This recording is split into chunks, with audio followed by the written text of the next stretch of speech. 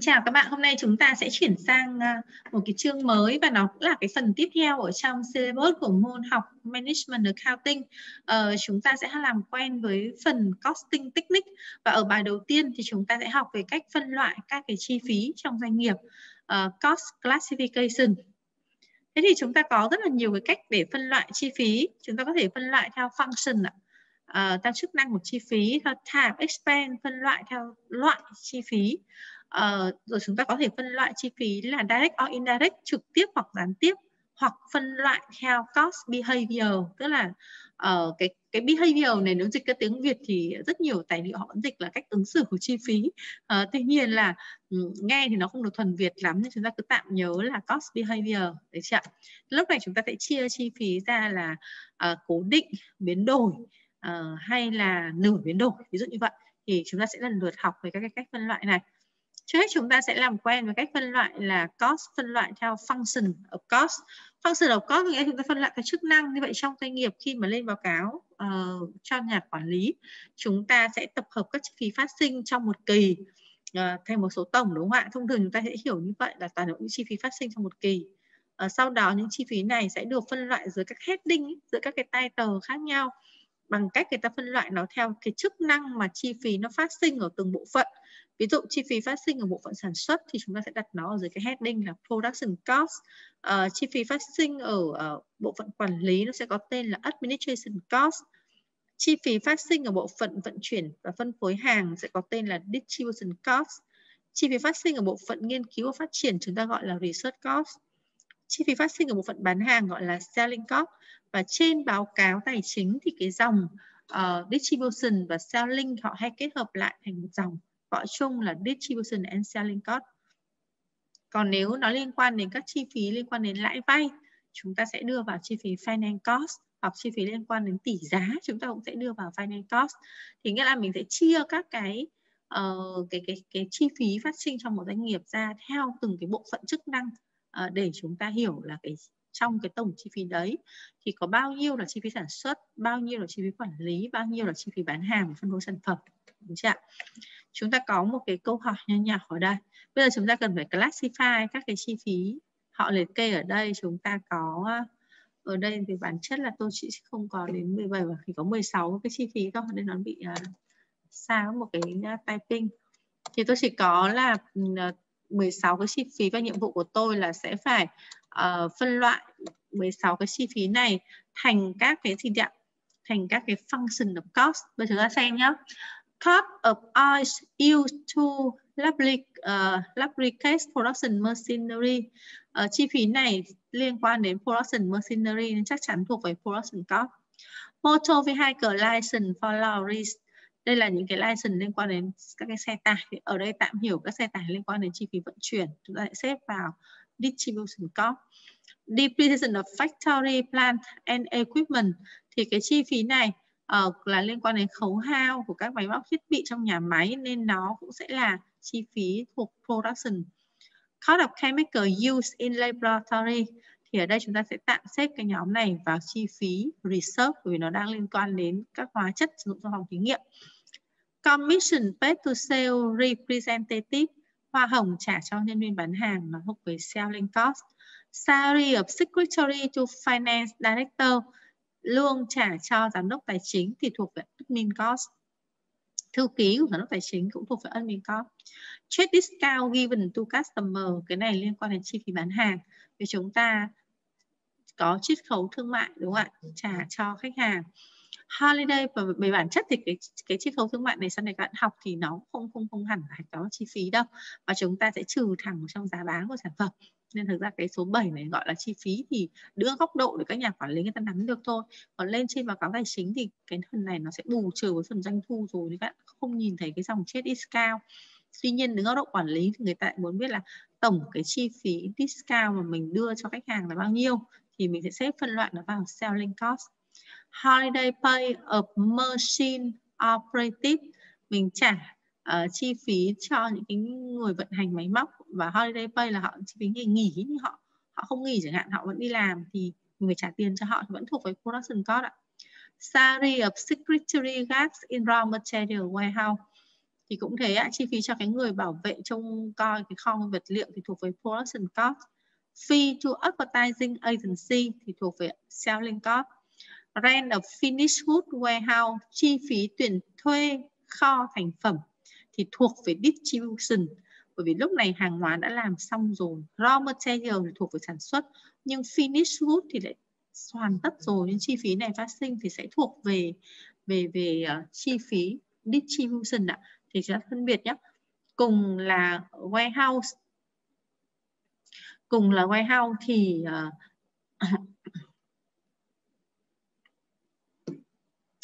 uh, raw material thuộc về production nhưng finish goods sẽ thuộc về distribution cost cái này các em lưu ý.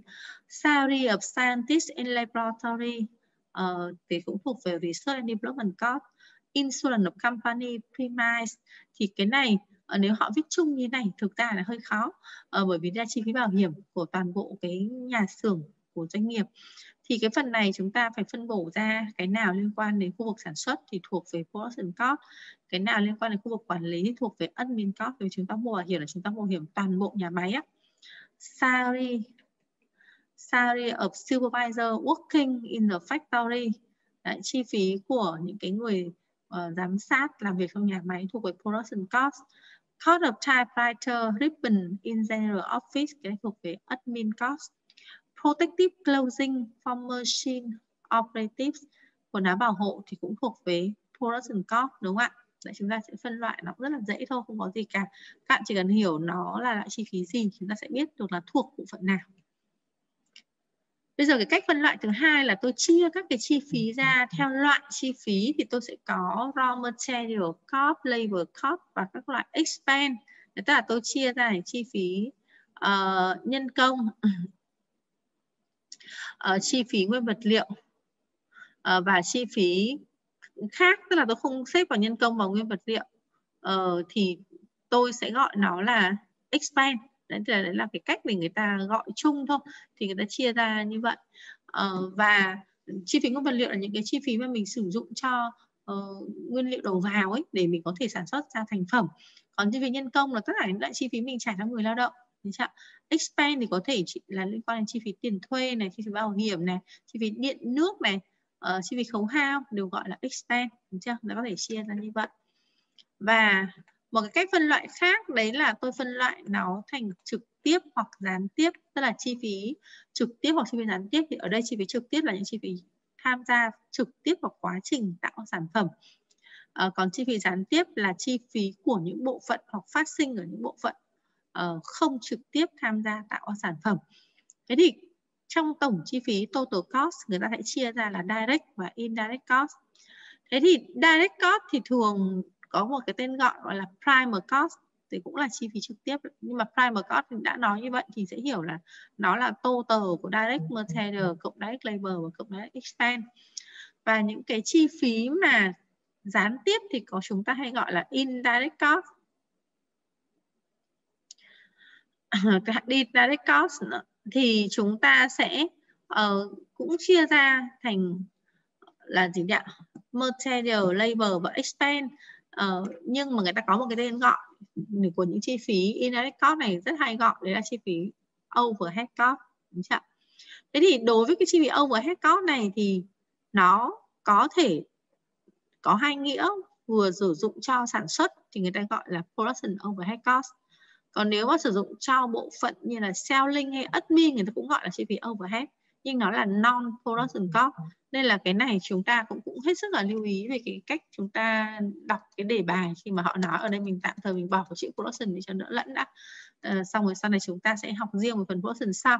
Thì cái chi phí mà indirect nhá thì nó có thể gọi chung là overhead cost và cái overhead cost này nó cũng đến nó cũng áp dụng cả cho production và non production thì đây chúng ta chỉ cần nhớ cái phân loại, nếu phân loại là direct cost là những chi phí trực tiếp tạo ra sản phẩm.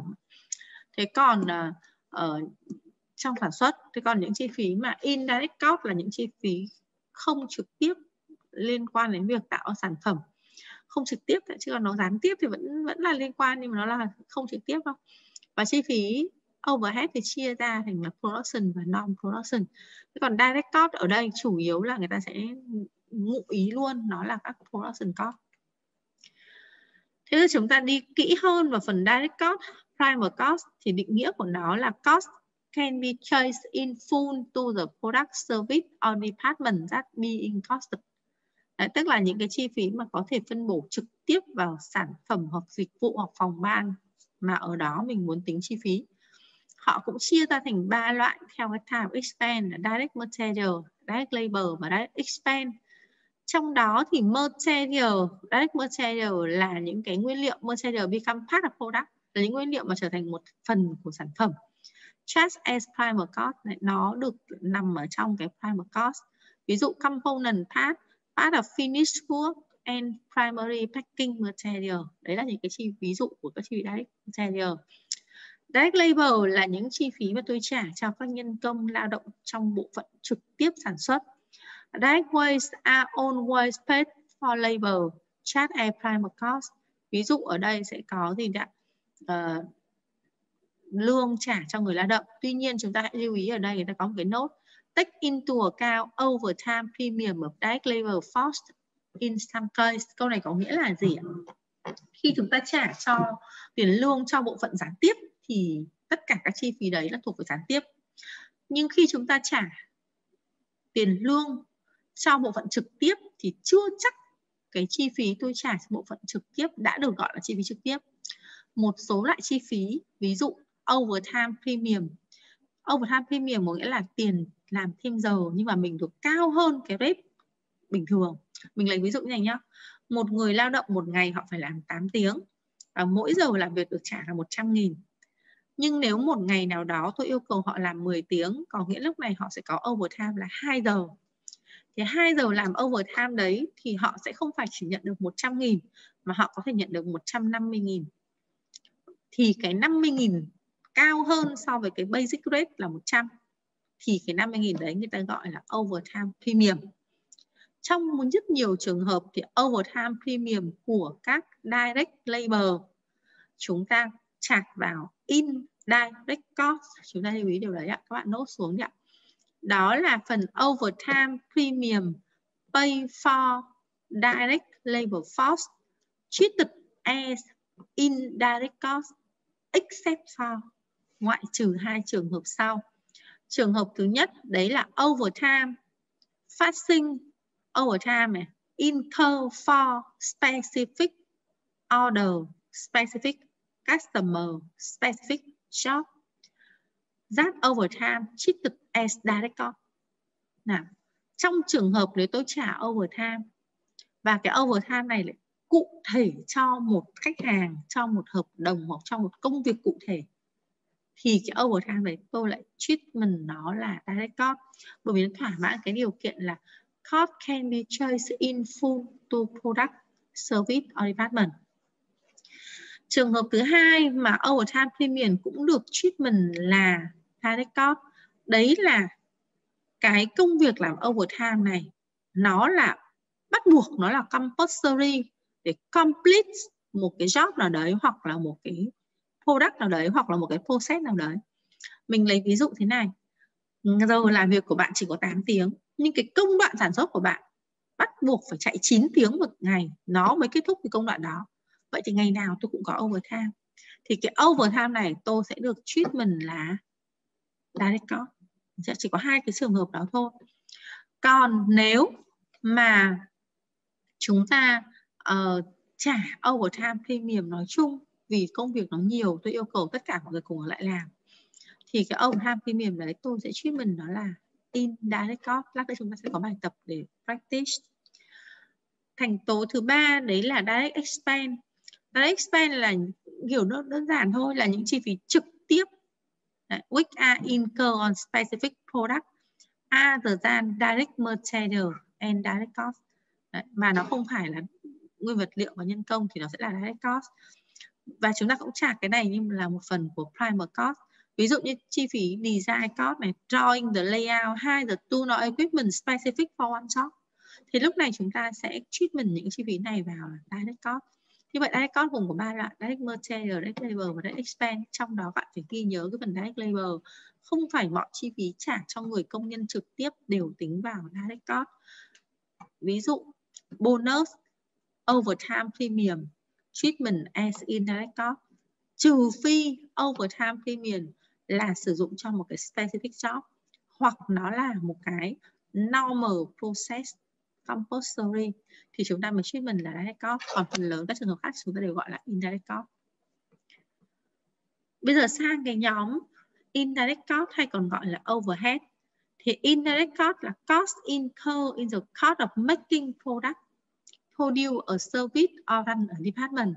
But we cannot be traced directly in full to product, service or department. Tức là chi phí có phát sinh trong quá trình tạo ra sản phẩm, cung cấp dịch vụ nhưng mà không trực tiếp phân bổ vào được sản phẩm hoặc dịch vụ. Ví dụ, chi phí trả cho một người giám đốc sản xuất, thì ông giám đốc sản xuất đã ông thuộc phần sản xuất thật. Nhưng mà bản thân ông ấy, khi mà ông ấy làm giám đốc sản xuất, ông phải quản lý toàn bộ cái khu vực sản xuất. Mà cái khu vực sản xuất đấy thì có rất nhiều sản phẩm. Vậy thì lương của ông ấy, tôi không biết là tôi sẽ tính trong sản phẩm A, sản phẩm B, sản phẩm C, đúng không ạ? Nên tôi sẽ hạch toán cái chi phí tiền lương của ông ấy vào một cái chi phí gọi chung là overhead cost xong sau đó người ta mới phân bổ cái chi phí overhead cost này sang các cái phân xưởng trực tiếp tạo ra sản phẩm A, B, or C thì đấy là những cái phần tiếp theo chúng ta sẽ học ở những chương sau về việc phân bổ chi phí overhead này. Production overhead thì gồm có indirect material, indirect waste và indirect expense. Ví dụ của indirect material ví dụ như là chúng ta có những cái consumable store tức là trong cái nhà máy sản xuất thì họ sẽ có kho nguyên vật liệu, nhưng họ cũng sẽ có kho gọi là kho phụ liệu consumable. Thì ví dụ như cái phụ liệu này nó, ví dụ như chúng ta sản xuất ra một cái ghế, thì rõ ràng cái khung sắt này, vải này, thì nó là raw material, nhìn thấy rất là rõ. Nhưng mà để nẹp được các cái vải đấy và cái khung, người ta có thể dùng để băng keo. Băng keo cũng là nguyên vật liệu, nhưng mà nó lại không được xếp vào direct material. Lý do là người ta không thể đong đo đếm được vào một cái ghế thì dùng hết bao nhiêu gam băng keo. Mà thông thường người ta sẽ mua rất nhiều băng keo về và người ta sẽ dùng cái keo dán đấy lần lượt. Và người sau này người ta chỉ phân bổ chung chung là uh, với uh, một cân băng một cân keo dán thì dùng được cho bao nhiêu sản phẩm cái phân bổ ra thôi. Thì cái phần băng keo đấy nó sẽ xếp vào nhóm là consumable store. Tức là những cái nguyên vật liệu nó dùng chung cả khu vực sản xuất. Hoặc là mình lấy ví dụ như này khu vực sản xuất nếu mà sản sản xuất sản phẩm là dược phẩm người ta sẽ phải sử dụng các cái hóa chất để tẩy rửa các máy móc trước khi mà chúng ta sản xuất một loại thuốc mới. Bởi vì khi sản xuất một loại thuốc mới thì chúng ta sẽ phải trộn nguyên vật liệu sau đó chúng ta mới trộn hóa chất ấy, để chúng ta tạo ra một cái hỗn hợp. Từ cái hỗn hợp đấy chúng ta mới đóng thành các cái thuốc đúng không ạ? Thế thì nếu mà sản xuất xong cái mẻ đấy rồi tôi phải phải rửa sạch máy móc đi. Cái máy móc đấy lại tiếp tục sản xuất cho một cái loại thuốc khác. Nhưng mà nếu mà còn tồn dư cái hóa chất của thuốc trước thì là không được không đạt yêu cầu. Vì vậy họ phải mua rất nhiều hóa chất về để xử lý máy móc thế thì cái chất tẩy rửa đấy chúng ta cũng không biết được là nó phân bổ cho cái sản phẩm thuốc nào mà chỉ biết là dùng chung cho toàn nhà máy. Vậy nó cũng được xếp vào nhóm là consumable uh, ờ, store và nó thuộc về nhóm là indirect material indirect way là tôi trả lương cho những cái người giống như là uh, thủ kho của kho nguyên vật liệu này trả lương cho giám đốc sản xuất này thư ký của giám đốc sản xuất là những người mà không trực tiếp tạo ra sản phẩm nhưng có liên quan đến bộ phận sản xuất indirect expense ví dụ như chúng ta trả tiền bảo hiểm này, tiền thuê này, tiền khấu hao ở của các máy móc thiết bị, thì một cái máy móc thiết bị nó chạy được cho rất nhiều sản phẩm. Thì không biết phân bổ trực tiếp cho sản phẩm nào, vì vậy tôi sẽ phải phân bổ trong tương lai. Vậy thì nó cũng được xếp vào nhóm là indirect production. Được chưa?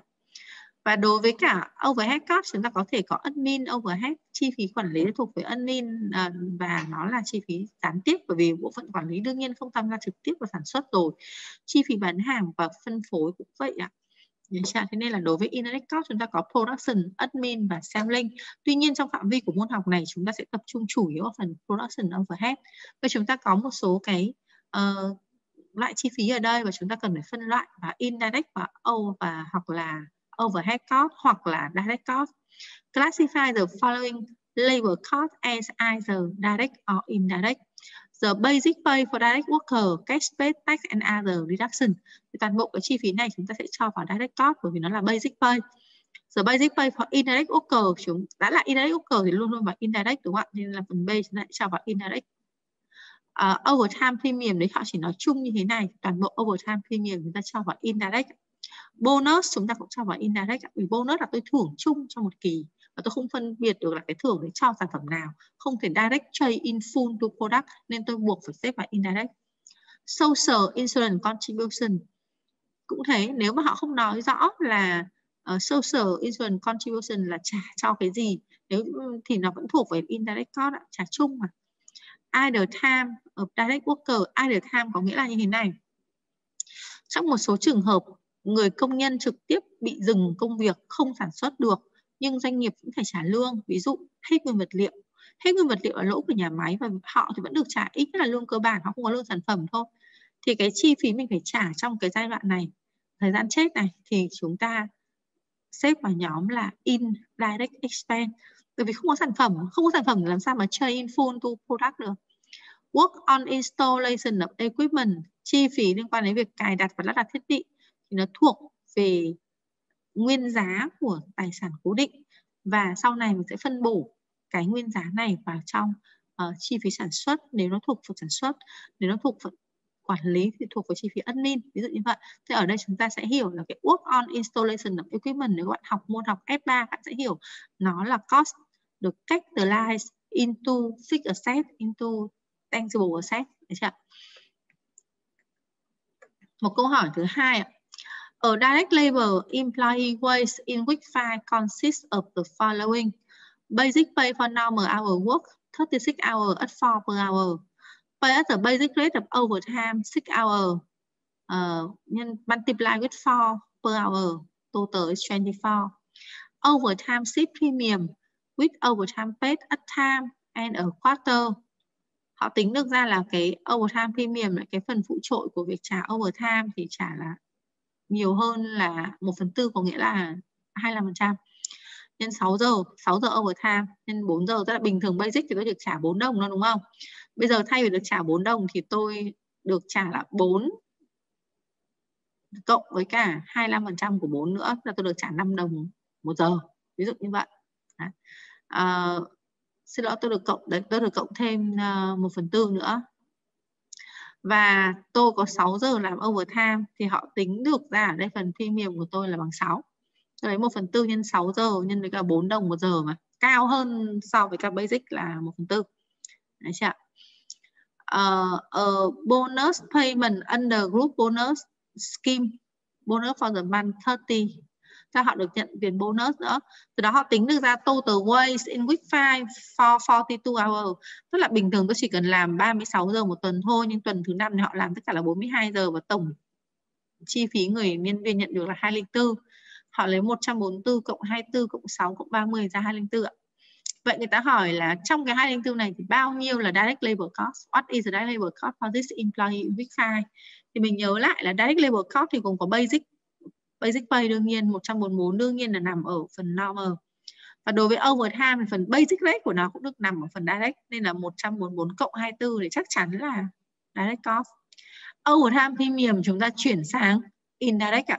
Vì họ không nói là overtime này cho một cái dốc cụ thể nào, hay là yêu cầu của công việc bắt buộc phải làm overtime. Nên 6 đồng này sẽ vào là indirect cost. Bonus đương nhiên là indirect. Như vậy trong cái 204 này chỉ có 168 là direct còn 36 là indirect nên chúng ta hãy chọn đáp án B. Ok? Như vậy chúng ta đã xong cái phần liên quan đến cost classification. Mà chúng ta đã đi vào ba cái trường hợp đầu tiên là function, đúng không ạ? Chúng ta sẽ có function ạ. Ok? Chúng ta có production, admin, selling, research, development, finance cost. Hai expense chúng ta có labor material và expense direct or indirect chúng ta cũng đã có gì ạ? Primer cost và overhead cost. Vậy chúng đã xong ba cái phần cost classification. À, bây giờ chúng ta sẽ chuyển sang cái phần tiếp theo của cost classification đó là chúng ta sẽ classification by cost behavior theo cái cách ứng xử của chi phí. Thì theo cái cách ứng xử của chi phí thì người ta sẽ phân loại chi phí ra thành bốn loại, fixed cost, variable cost semi variable cost and step fixed cost. Có nghĩa là chi phí cố định chi phí biến đổi, chi phí nửa biến đổi và chi phí bậc thang. Đấy chưa? Thì ở đây cost behavior được định nghĩa là the way in which costs are affected by change in volume of output. Có nghĩa là khi tôi thay đổi sản lượng thì chi phí thay đổi như thế nào. Nếu tôi thay đổi sản lượng và chi phí không thay đổi, chúng ta có fixed cost ạ. đây chính là định nghĩa của fixed cost fixed cost cost are not affected in total by level of activity có nghĩa là khi tôi thay đổi sản lượng cái volume output của chúng ta nhìn trong cái sơ đồ này bằng không thì fixed cost vẫn phát sinh bằng 1, bằng 2, bằng 3, bằng 4 thì fixed cost cũng không thay đổi cho đến tận 1.000 cũng không thay đổi. Ví dụ như vậy. Thì trong trường hợp này chúng ta gọi loại chi phí này là chi phí cố định. Ví dụ lương của một người làm kế toán chẳng hạn thì nếu chúng ta là ăn lương theo hình thức là trả lương theo tháng vậy thì mỗi tháng của chúng ta là chúng ta sẽ ờ, được trả lương là 15 triệu Vậy chi phí này sẽ được gọi là chi phí cố định bởi vì sản xuất họ có sản xuất 1.000 hay 2.000 sản phẩm thì lương người kế toán vẫn là 15 triệu. Vậy thì nó sẽ xếp cái loại chi phí này vào chi phí cố định ạ. Loại chi phí thứ hai là chính là chi phí cố định nhưng lại có sự nhảy bậc thang nên người ta gọi chi phí này là step cost, chính là chi phí bậc thang. A cost will fixed in nature but only within certain level of activity. Có nghĩa là chi phí này chỉ cố định cho một cái gì ạ? Cho một cái lượng sản lượng nhất định. Còn nếu mình thay đổi cái sản lượng thì cái chi phí này sẽ bị biến đổi và nó sẽ tăng lên. Để, thì ở đây chúng ta nhìn vào cái sơ đồ thì nó cái chi phí này sẽ cố định trong giai đoạn từ đây cho đến đây đúng không ạ sau đó nó tăng lên một cái level cao hơn và nó cố định trong một giai đoạn này sau đó tiếp tục tăng lên và nó sẽ cố định giai đoạn tiếp theo thì ví dụ của step cost ở đây chính là cái chi phí, ví dụ tôi thuê kho chẳng hạn. Thì tôi thuê một cái diện tích là 50 mét thì tôi trả tiền thuê là 10 triệu một tháng. Thì nếu tôi đẩy hàng ở trong đó là một thùng hàng hay 20 thùng hàng hay 30 thùng hàng, thì chi phí thuê kho vẫn là 15 triệu một tháng hoặc 10 triệu một tháng mà không thay đổi gì. Và cái cái cái lượng hàng của tôi, miễn là tôi để vừa vào cái kho đấy. Dù tôi không để gì tôi vẫn phải trả nhá. Còn nếu mà tôi để từ 1 cho đến 30 thùng hàng, tôi vẫn chỉ phải trả à, một số tiền thuê cố định là 10 hoặc 15 triệu. Nhưng đến khi mà tôi có 50 thùng hàng tôi sẽ không đủ để chứa cái kho 50 mét này. Nên bắt buộc tôi phải thuê thêm một diện tích thứ hai 50 mét nữa. Vậy thì để chứa được 50 thùng hàng tôi sẽ phải thuê kho một cái kho khác hoặc thuê thêm một diện tích tương ứng 50 mét. Vậy tổng tiền thuê kho của tôi lúc này nó không còn là 10 triệu nó có thể là 20 triệu một tháng. Và cái 20 triệu này sẽ giúp cho tôi chứa được khoảng 60 thùng hàng. Đến thùng hàng thứ 61 tôi cũng hết chỗ rồi tôi có thể là tiếp tục đi thuê một diện tích mới. Và diện tích mới sẽ giúp tôi để thêm được 30 thùng hàng nữa cho đến 90 thùng hàng chẳng hạn. Ví dụ như vậy như vậy là chi phí thuê kho nó chỉ cố định cho một cái level certain level of activity ở đây là 30 thùng hàng. Cứ vượt quá cái level này chúng ta sẽ phải thuê một cái kho mới đúng không ạ? Như vậy loại chi phí đó sẽ là chi phí step cost. Và uh, một loại chi phí thứ ba có tên là chi phí biến đổi, variable cost. A cost which tend to vary directly with volume of output. The variable cost per unit is the same amount for each unit produced. Chi phí biến đổi là chi phí sẽ thay đổi nếu tôi thay đổi sản lượng. Và chi phí biến đổi đơn vị, variable cost per unit gọi là chi phí biến đổi đơn vị thì không thay đổi mỗi sản phẩm. Chúng ta nhìn một cái sơ đồ này ạ. Ở đây nếu mà chúng ta không sản xuất gì thì chi phí biến đổi bằng không sản xuất một sản phẩm chi phí biến đổi tương ứng ở đây. Sản xuất hai sản phẩm chi phí biến đổi thì tăng lên đến đây. Sản xuất càng nhiều thì chi phí càng gì ạ? Càng lớn được chưa ạ? Càng lớn. Thế thì uh, đấy là một số cái cái cái uh, sự uh, gọi là minh họa cho các cái chi phí.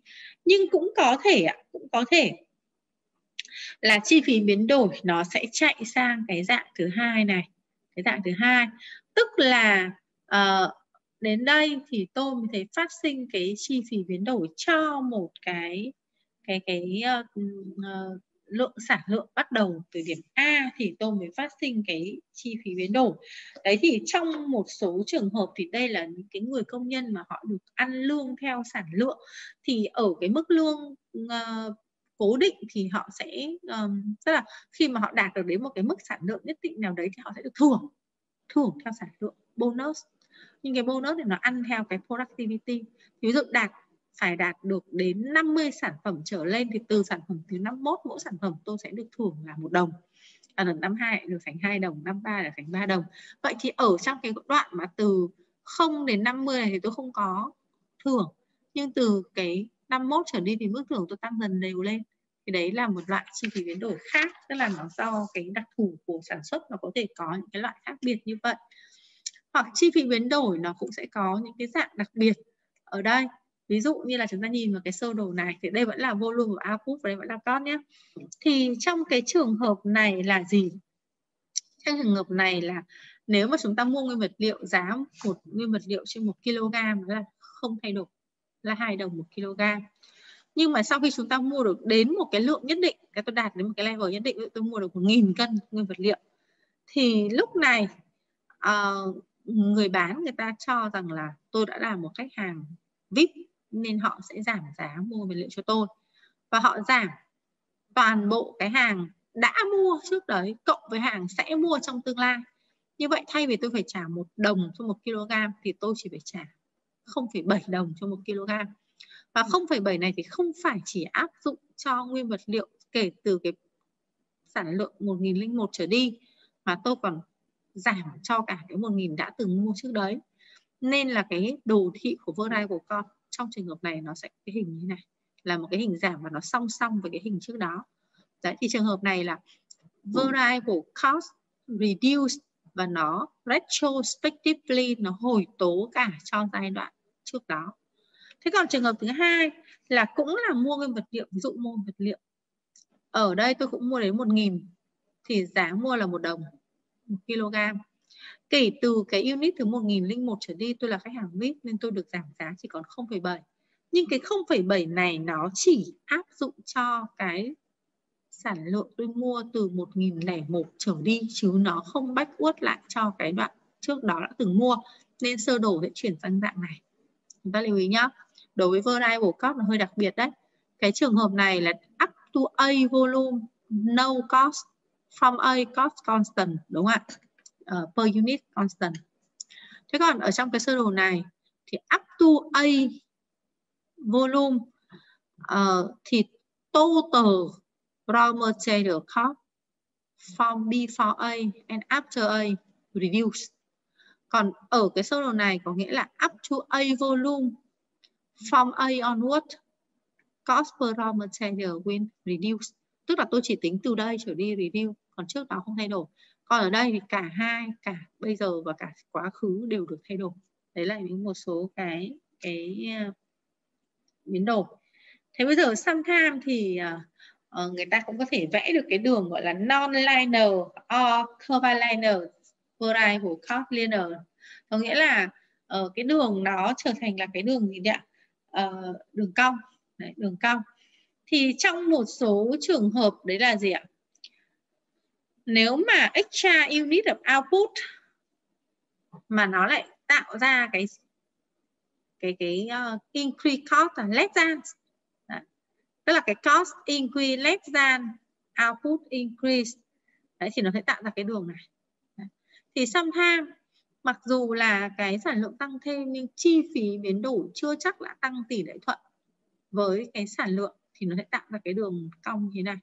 Còn trong trường hợp này là số lượng tăng thêm và chi phí tăng thêm, nhưng chi phí tăng more than proportionate tăng theo một tỷ lệ lớn hơn thì nó sẽ vẽ ra cái đường cong như thế này đấy chưa đấy, thì đấy là những một số cái code behavior pattern mà chúng ta cần quan tâm.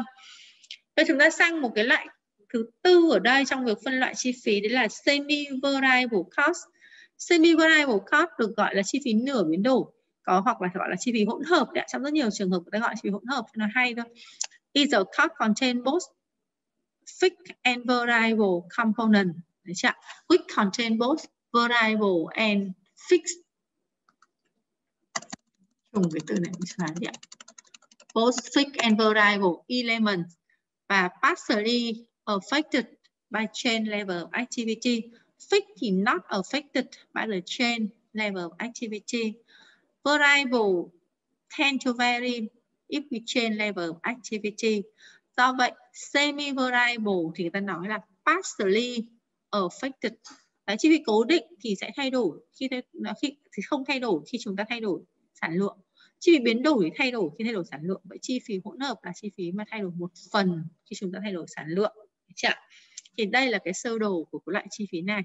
Có một số loại chi phí là nó sẽ tăng dần cho đến một level nhất định ở đây thì nó sẽ không tăng nữa nghĩa là đến đây là maximum cost và không tăng lên nữa dù sản lượng có tăng, chi phí cũng chỉ ở đây nhưng ngược lại sẽ có một số loại chi phí cố định ở một đoạn này, nhưng sẽ tăng dần lên nếu vượt qua cái ngưỡng sản lượng nhất định thì nó sẽ tăng dần lên thì nó sẽ ở cái code behavior pattern number 2 đấy chị ạ. Đấy thì cái thằng uh, cái sơ đồ thứ nhất nó là code behavior pattern mà thể hiện cái phần maximum level of cost còn ở cái code behavior level pattern number 2 thì nó thể hiện cái gì ạ? Minimum fixed charge là ở đây. Thì ở đây ví dụ như này nhá tiền thuê bao điện thoại cố định của các bạn phải trả hàng tháng là 40.000 thì cái minimum cost này dù bạn không gọi cuộc điện thoại nào cũng phải trả 40.000 đúng chưa còn nếu mà các bạn gọi điện thoại một phút, bạn sẽ phải trả 160 đồng một phút. Vậy thì cứ 2 phút thì sẽ giảm 320 3 phút giảm 480 vậy tổng chi phí nó sẽ gồm có 40.000 một tháng cộng với số phút các bạn gọi nhân 160 vậy đó chính là cost behavior pattern number 2 mà chúng ta có thể nhìn thấy cái đường minh họa ở đây. Đấy chưa thế còn trong cái trường hợp này là nếu chúng ta cứ mua một unit thì chúng ta trả 1.000 nhưng đến khi chúng ta mua đủ 5.000 unit rồi, như vậy số tiền chúng ta phải trả lấy 5.000 unit, đúng không ạ? 5.000 unit này tôi đã nhân với 1.000 rồi tôi đã trả đến 5 triệu rồi thì tôi có thể dùng thoải mái, không cần phải trả thêm tiền nữa. Đấy, tức là nó cố, nó cũng sẽ cố định ở cái mức chi phí này mà không thêm nữa. Thì cái loại chi phí này người ta gọi là semi variable nửa biến đổi, hoặc là chi phí hỗn hợp. Nào, chúng ta cùng xem cái ví dụ ở đây những cái chi phí sau, chi phí nào là fixed, chi phí nào là variable, chi phí nào là mixed cost? Telephone bill thì almost the case chúng ta sẽ chọn là mixed cost bởi vì nó vừa có chi phí thuê bao, vừa có chi phí cuộc gọi annual salary of chief accountant, fixed cost. The management accountant annual membership fee to ACCA paid by the company, fixed cost. Cost of material used to pack 20 unit of product X into a box. Chi phí nguyên vật liệu sử dụng để đóng gói 20 sản phẩm đây là chi phí variable. Nếu mình đóng gói 40 sản phẩm chi phí sẽ khác 60 sản phẩm thì sẽ khác đúng không ạ? Wage of warehouse man. Chi phí tiền lương của warehouse man thì nếu mà nó cố định trả theo tháng thì nó sẽ là fix nhưng mà nếu gọi là wage salary và wage thì hơi khác nhau một chút. Salary thì chủ yếu là nói về fix fix uh, là cái lương cố định còn đã always là hay tính theo gì ạ? Theo sản lượng nên là chúng ta sẽ coi cái này ở đây. Chúng ta assume cái này là biến đổi. Chưa ok. Như vậy chúng ta đã kết thúc cái phần đầu tiên của cái phần uh, cost classification by behavior.